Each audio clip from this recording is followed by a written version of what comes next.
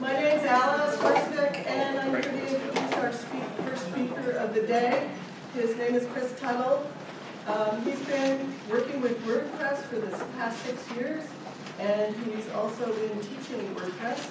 Uh, he's a freelancer, and he's going to talk to us today about experimenting with design. So please welcome Chris Tuttle.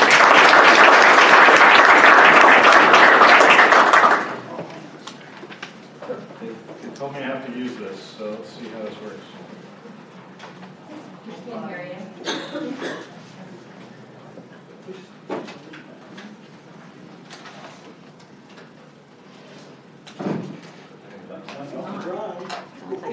All right, are we on? All right. This is weird, it's usually taped to your face. Um, All right. Uh, First of all, just want to get to know you guys a little bit. How many of you are designers? Beautiful hands there, all right. Um, How many of you are brand new to WordPress, just getting started? Love it. You guys are my people. I love you. Um, let's see here. Um, how many are old hat have been doing WordPress ever since it started? Fantastic. All right. So you guys are the ones I gotta watch out for. Um, awesome. Well, you guys are amazing, and I'm really excited to uh, share some of the things I've been doing and learning um, with design. Um, okay, so a little bit about me. Um, Actually, first of all, I want to thank everybody for coming out to WordCamp, and I want to give a shout out to all the organizers. They really, and all the volunteers, they do a lot to put together these camps, um, and it's just phenomenal to to be a part of this and to, to see what they do. Um, in opening remarks, he mentioned that this is the real life community. It is.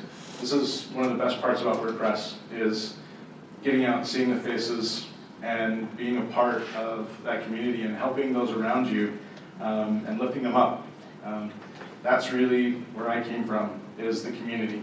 Um, without the WordPress community, um, I would not be where I am today or know anything that I know today.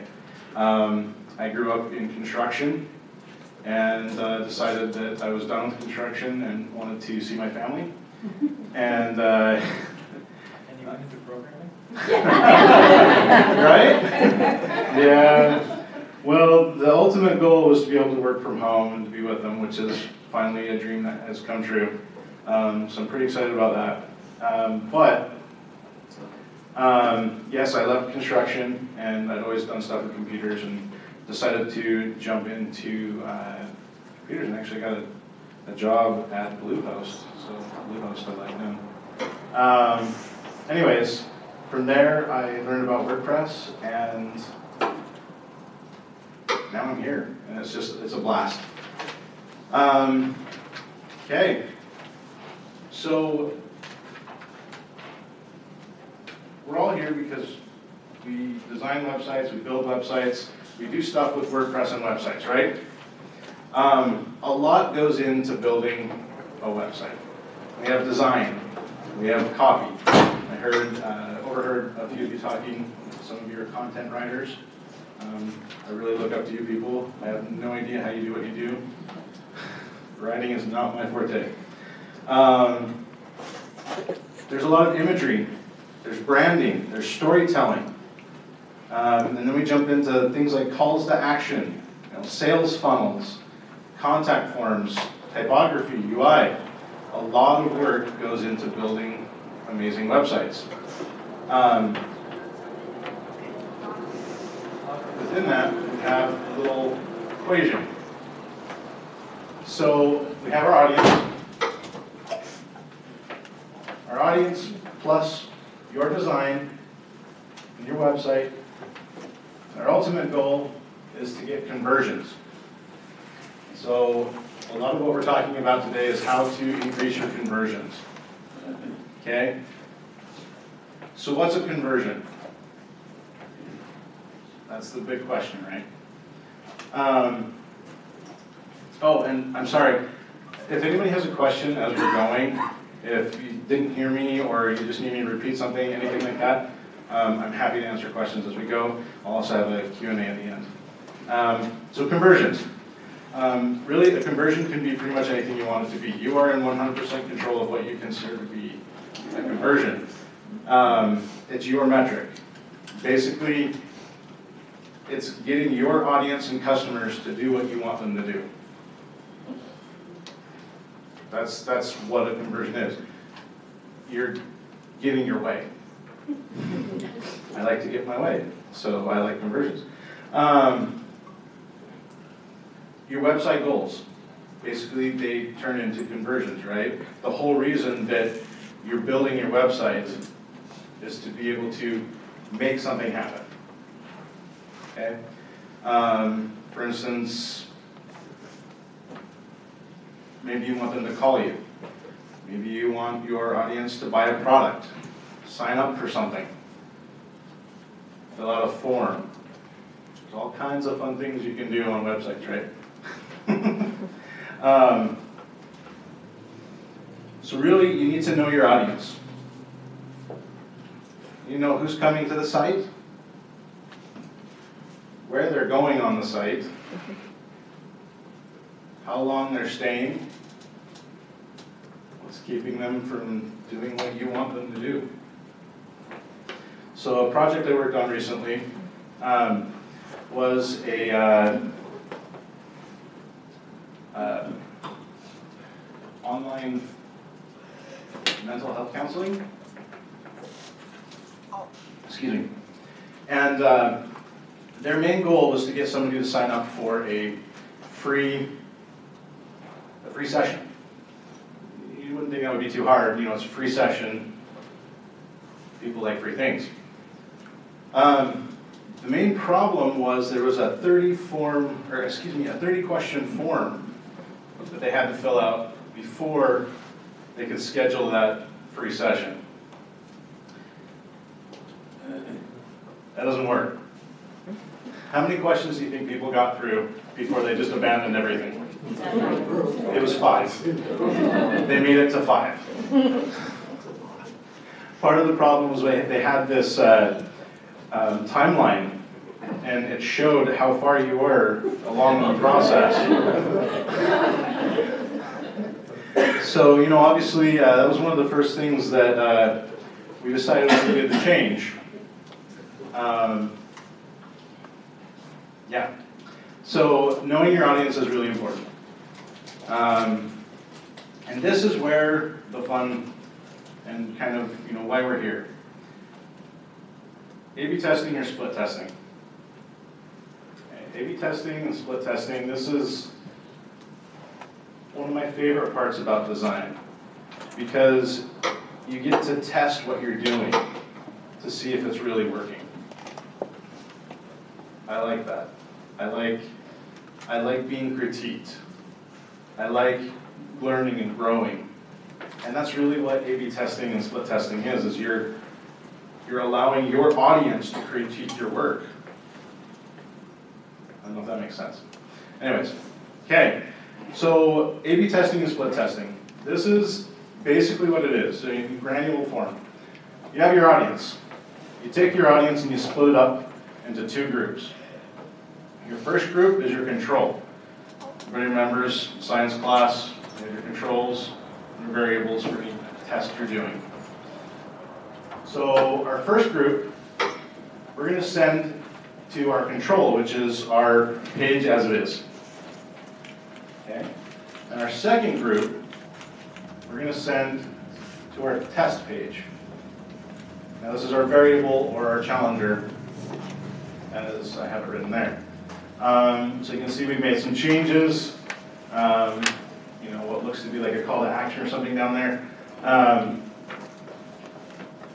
but we've determined what our conversion is, and now we have the opportunity to validate any changes or additions that we've made to the page to improve what we think is going to improve the conversion rate. A lot of you know this already. Um, this process, even though it looks very simple, it can get very confusing, and so I like to use a little bit of a framework um, to really provide some structure and to help kind of lay out the, the steps needed to really make A/B testing work for you. Okay? I'll go slow on these so you can write them down if you want to. Um, so the first step, we're going to measure. Second step is we're going to prioritize.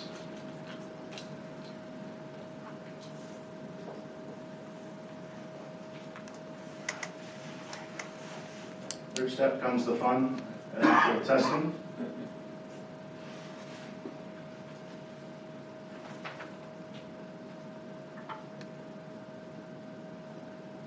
Pete and repeat fell off the fence. Or, excuse me, Pete and repeat were sitting on a fence, Pete fell off, who was left? Repeat. Do it again. Keep doing it. Okay, so let's, let's break down measure. Okay, first is defining our objectives. Now, a lot of this stuff we probably should have done as we were organizing the site and putting the site together. Um, For those of you that are freelancers and that work on sites that have already been put together, um, you'll know that this doesn't always happen. Um, Even from other professionals. Um, So first thing we need to do is we need to come up with our objectives. Why does your website exist? Okay, um, I like to use the dumb principle on this one. Objectives should be dumb, D-U-M-B. Doable, understandable, manageable, and beneficial. Okay. Um, Next, we have our goals. What needs to change to meet our objectives? So what do we need to change on the site meet those objectives? Those are our goals.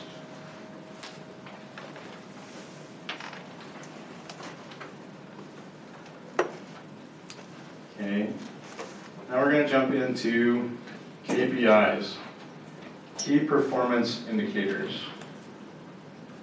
For those of you that enjoy number crunching, this is for you. This is the numbers. So basically, you convert your objectives and your goals, and you create numbers for them. So for instance, with the, uh, um, with that form we needed to fill out, the thirty question form, um, KPI on that was, we wanted people to sign up and actually hit that button and make the, uh, the appointment. So that was our, that was our most important KPI. Okay, that appointment. Um, and then we need to define our target for every KPI that we have. So we need to put a target number on that. Does that make sense? Not yet. Okay. All right. So that's measure. We need to be able to have something we can hit. Oh, I didn't move forward. Okay. Next is prioritize. This is where we jump into things like Google Analytics. Google Analytics, is incredibly fun to use. Um, it is, I hear everybody laughing.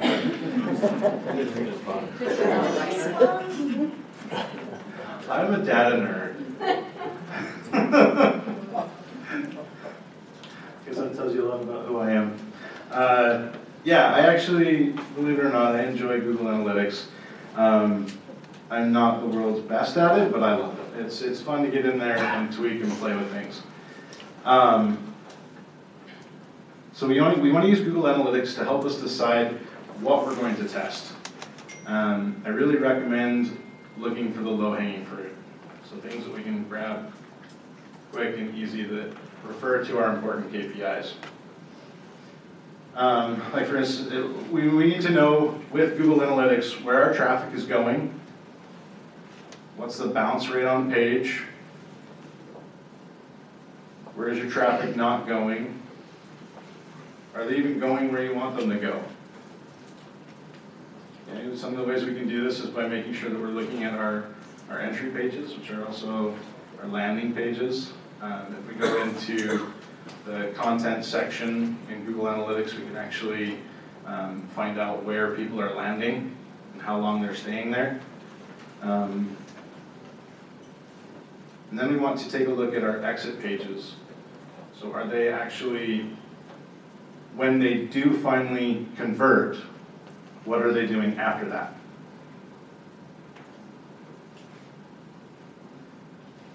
Okay, so as we're going through this process, just know that the more traffic you get to the page, the quicker you're gonna be able to find results in the tests. Um, and using Google Analytics, if you're deciding between, excuse me, if you're deciding between two pages to test, um, really it's gonna come down to return on investment. Which one is gonna be more beneficial and worth your return on your time? Because that's what really everything boils down to. Okay.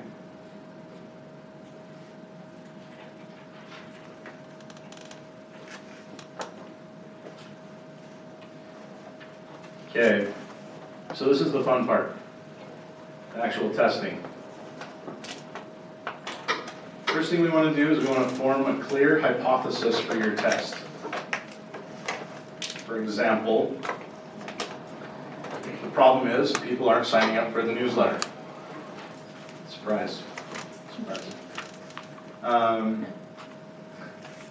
so the hypothesis is the visitors don't see the value in the newsletter.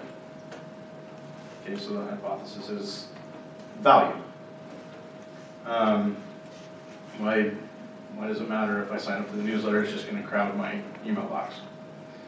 So the idea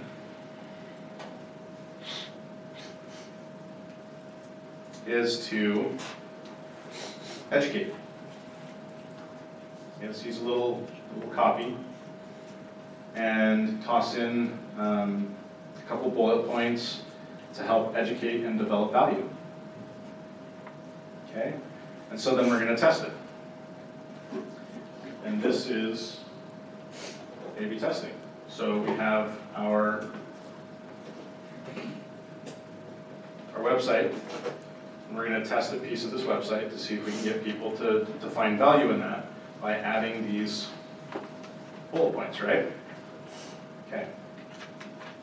And we're going to test it. Once we test it, we're going to measure the data. Okay. When you're looking at data, uh, don't forget to look at revenue as well when you're testing. Um, a lot of times, let's say that you're testing price.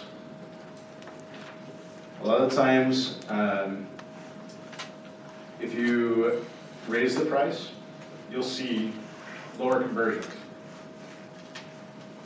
So you'll think, well, what's going on here? That doesn't make sense. But you raise the price, you're not going to get as many people buying it. But if you look at the uh, if you look at the revenue in the end, you very well could be making more, even with fewer conversions. So always make sure that you check that, just to make sure. Okay. Then you do it again It's a new thing. You keep doing it until your user experience and everything is just cherry. But you'll always keep doing it because it's fun. Did I see a hand for a question? Great, sorry. All right. You want to learn from your tests. And you want to do it again. Okay, considerations. These are some fun things. Google does not like duplicate content. Is everybody aware of that? Okay. Um, so if you leave up content for too long, it's gonna hurt you. It's gonna hurt your SEO. The general rule is to really update your site uh, with the winning validation as soon as you are sure of the success of the test. So when your test wins, update it, put it up there. That's the, that's the new, the new thing. Uh, I worked for a company called Mojo Marketplace, um, where I helped build a, uh, an education service. Um, and it was funny because sales off of the, the site, the organic sales, were doing too hot. Um, and so we did some A/B testing on some, uh, some landing pages. And within one day, we found that the new landing page brought in a good thirty to forty percent increase. And so very quickly, that became the, the new landing page for that service. And it was really fun to see the organic sales just explode after that. So it can happen very quickly. Like we said before, the amount of traffic to that site or to that page really can help determine the, uh, the length that you have that test running. Okay. All right, so don't run your experiments, experiments longer than you need, and use canonical URLs.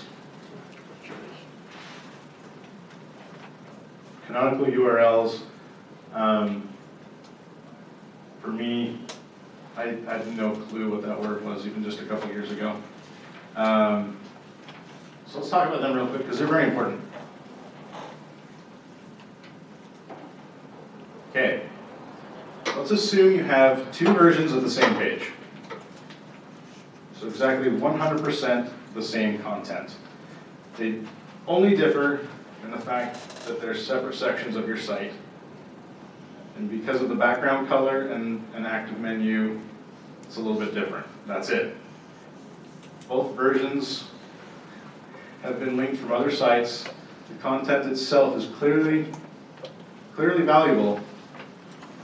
Which version should the search engine show? It doesn't know. Okay? So, what you need to do is you need to tell it which one to look at. And this will help your SEO a ton. So what we're gonna do is in the head,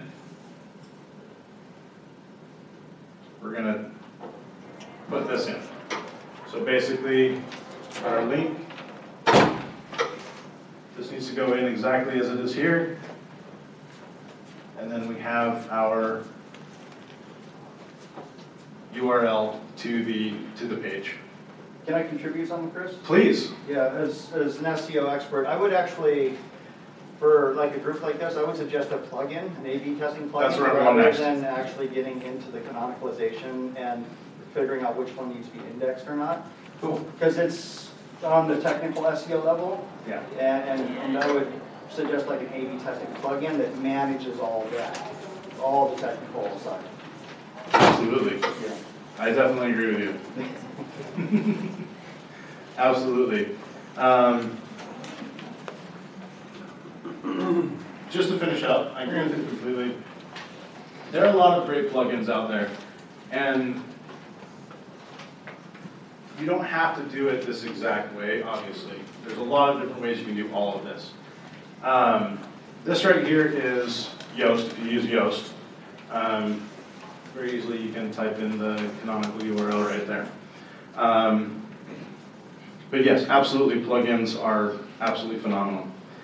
Um, if you would like to learn more about canonical URLs, and I love that you're a SEO uh, guru, that's, I'm working on that one myself. this is a really great resource. Um, you'll learn a ton about canonical URLs. Okay. So, let's talk about how we actually do it. Now, again, there's a lot of different plugins you can use that make this process a little bit easier. Um, I'm going to show you the way I've been doing it with uh, Google Experiments. And we'll go from there. So the first thing you need to do is make sure that you have Google Analytics installed in WordPress.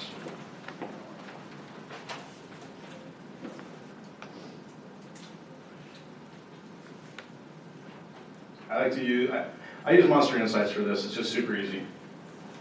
Um, then, we're gonna go ahead and we're gonna jump into our Google Analytics. We'll have everything set up. Um, on the left-hand side of Google Analytics, there is behavior, so we wanna click on behavior, and then we're gonna go to experiments. Okay. It's gonna bring up a page that looks a lot like this. Because it is. And we're gonna click on experiment. We're gonna leave it at web experiments, we can click on create experiment here. Now, backtrack a little bit here, there are actually a lot of themes, well, I guess not a lot of themes, but there's, like, we've got Divi, um, there's Thrive, there's a bunch of themes that actually have, um, this stuff built into them. So it makes it a lot easier on the theme side. Um, so if you're, if you're serious about doing testing, I'd look into, to the themes that you're, you're choosing. Um, but you can do this with any, anything. And uh, there's also plugins, again. Okay, so we'll hit create the experiment.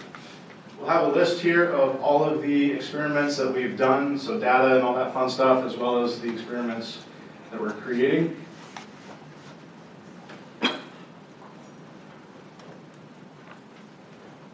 Okay. This section here, we're just gonna fill out all the different pieces. So we're gonna name the experiment. Now, for those of you that have played around with Google Analytics, you're familiar with the uh, objectives and metrics and stuff. Basically, you can, in Google Analytics, you can set your um, conversions.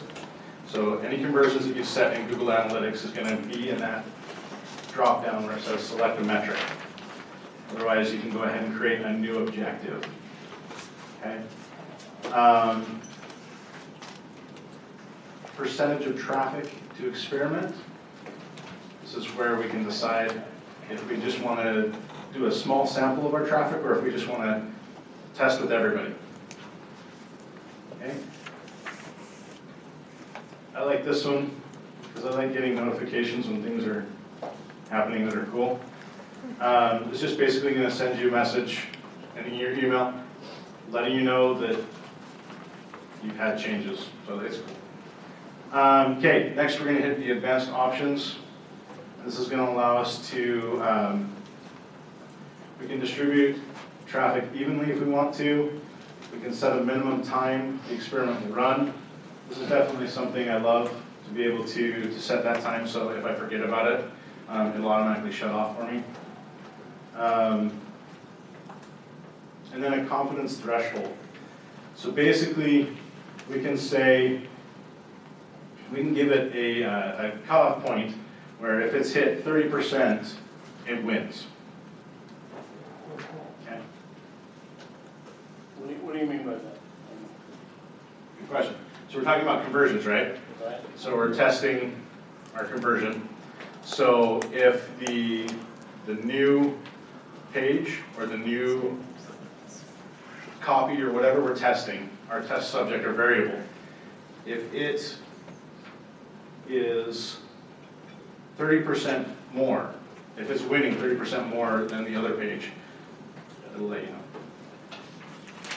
And that's by whatever that objective you set. Yep. You can get very in-depth with this, or you can be very simple with it.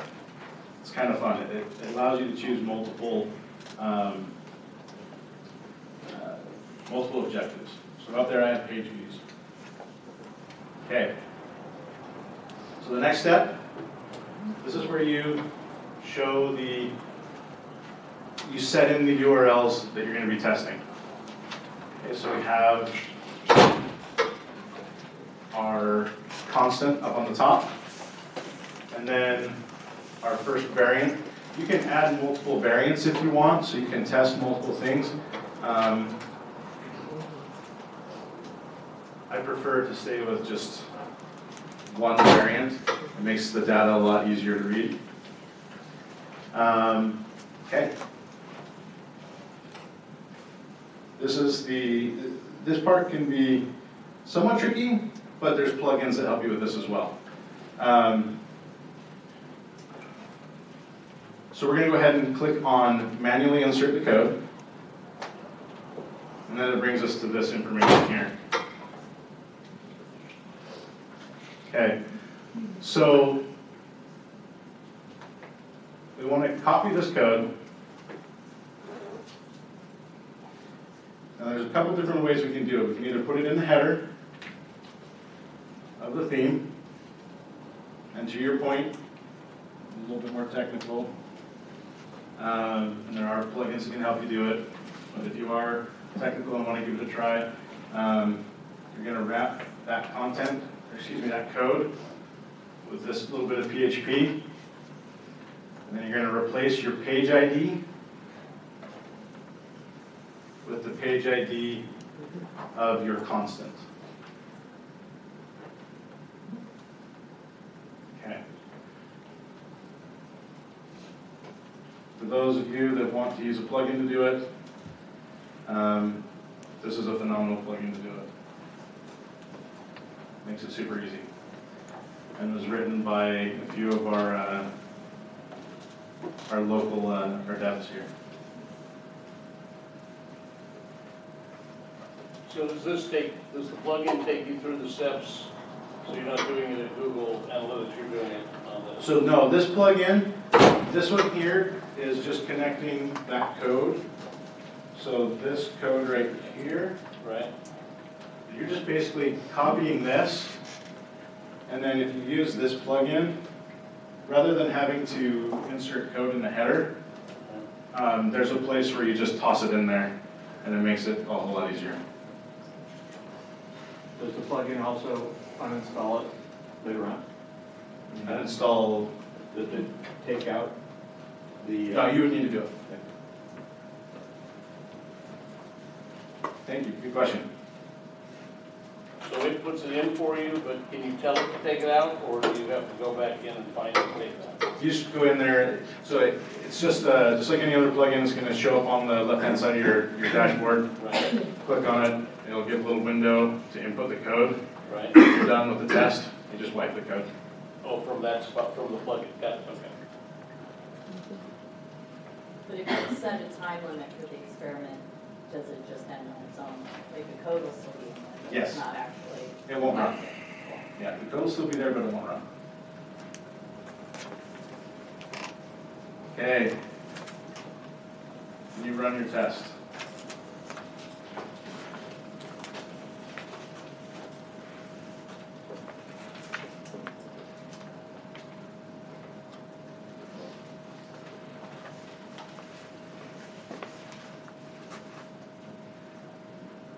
So I had a lot more in my mind that I was gonna talk about, and apparently I sped through it. Can we get a copy of your thing? Yeah, absolutely, I'll put them on, uh,